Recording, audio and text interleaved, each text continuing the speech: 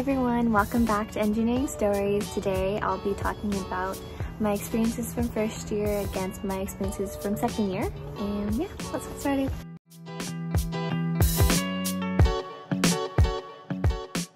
For my first year experience, it was really nice getting to meet so many different people. It was every single day I was meeting somebody new and that hasn't stopped even in second year.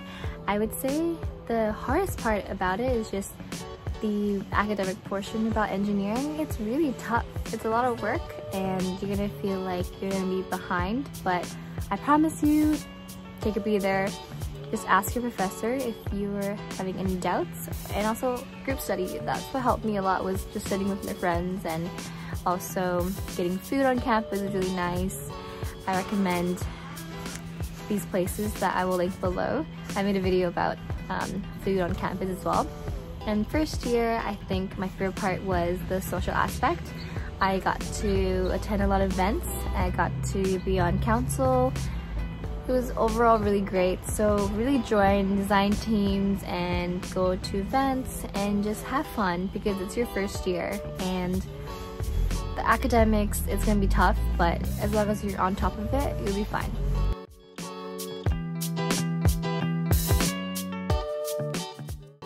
Something that I loved about second year is that my classroom sizes are way smaller, so in first year, English or physics or math were huge. There were a couple hundred people in my classroom and it was always very intimidating. But in second year, you are just with people who are very like-minded and because you guys are in the same specialization, everyone sort of knows each other and it was about class sizes of um, at most 80 and it can also shrink to about 30 so it was really nice that you get to kind of see everybody um, consistently every single day and it was great. Alright, and for the next question is course load. How different is a course load? Um, about the number of courses you're going to be taking from first to second, it's going to be around the same, so five to six a month.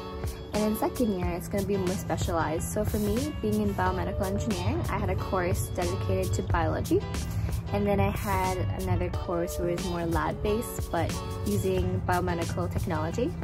And that's because it's tailored to my specialization and it's going to be different for each of the 14 specializations that we have at UBC. And one thing I really enjoyed in second year was the hands-on experience. We got to do a cadaver lab in the medical building right away in second year biomech course and we also got to do a lot of uh, product-based design.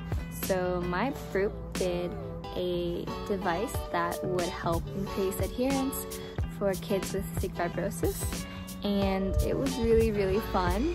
Is second year harder than first year? And I think that one really differs from person to person but I think that second year is that you're expected to do better and it's just more of a level up than first year. I would not say it's that much harder, but it is just that you gotta put more effort in. A lot of people say they've enjoyed second year more.